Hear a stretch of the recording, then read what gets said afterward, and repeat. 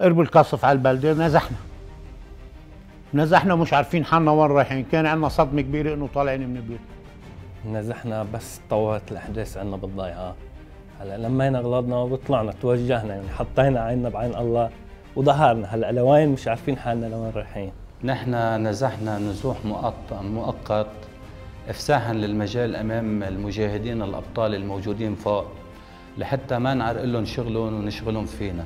وصلنا للآعية وصلنا لكفرسير وصلنا للقصايبة وصلنا لمنطقة النبطية بالذات نحن أنا كشخص. لقينا كل البيوت مفتوحة لنا. نحن على الطريق لنا أصحاب يعني بالضياع كثير فتوصلنا معهم قالوا أهلا وسهلا بيوتنا إلكم مفتوحة. فشرفنا لعندهم على الضيعة. هلأ مش بس لقيناهم هن لقينا كل أهل الضيعة. مش بس فتحوا لنا بيوتهم فتحوا قلوبهم كمان يعني. وبكفينا نحن هون بكفرصير إذا بنمشي بشوارع كفرصير بنشوف الناس عم تضحك بوجهنا. هيدا اللي بيعزمنا تفضلوا اشربوا شاي هذا بيعزمنا تفضلوا اشربوا قهوة. وأكثر في حالي هون بكفرصير ناس قعدوا تحت هيك مثل أراضي وقعدوا الناس عندهم. قعدوا ببيتهم الأساسي وقعدوا هن ناس بأراضي. يعني أنا هيدا شخص أنا بعرفه وفتت على بيته وانصدمت بصراحة. فما بيقولوا الواحد إلا بارك الله بهيك ناس عن جد.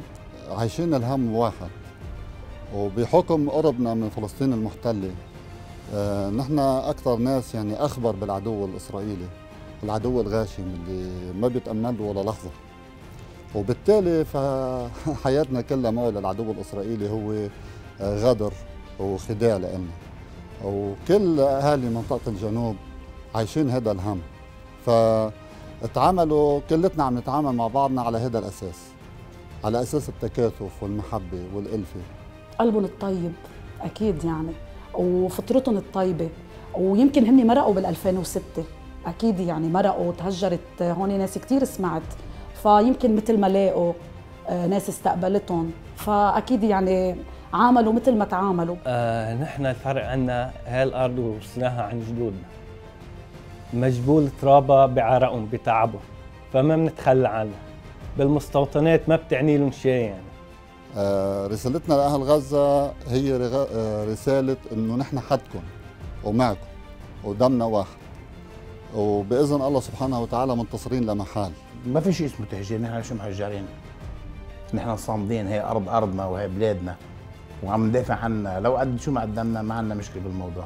بالنسبة للنازحين أنا بتوجه بكلمتي لهم بقول لهم تحملوا النصر قريب. بوجود الشباب على الجبهة وصمودهم نحن حتما راجعين منتصرين بإذن الله.